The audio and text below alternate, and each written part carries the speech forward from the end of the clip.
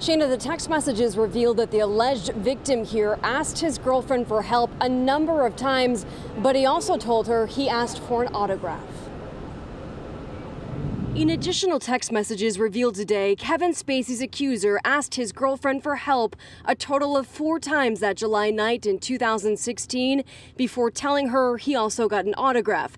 News Center 5 legal analyst Greg Henning. This is the type of evidence that each side will have a different argument for why it's relevant. Initially, she doesn't believe him as he details what's allegedly happening inside the club car on Nantucket.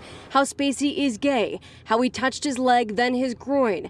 He tells her Spacey kept buying him drinks and that he was now drunk. The prosecution is going to say that this is a contemporaneous record of the alleged victim saying, Help me, I'm being sexually assaulted by Kevin Spacey. The defense is going to say he willingly sat with Kevin Spacey, he engaged in conversation, he chatted with his friends and even bragged about it. The alleged victim and his mother, Heather Unruh, now say they don't have the phone and haven't seen it since turning it over to prosecutors two years ago. Police say they gave it back.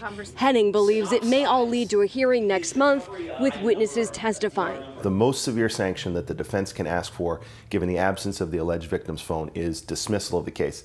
Unlikely that that happens.